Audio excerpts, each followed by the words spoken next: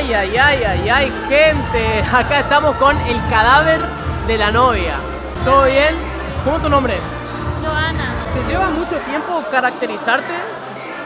Y sí, la verdad es que preparé hace como un mes, un mes y medio ya atrás, Y hoy, antes de venir, ¿cuánto tiempo estuviste haciendo todo el maquillaje y todo? desde las 4 de la tarde. ¿Las cuatro nomás?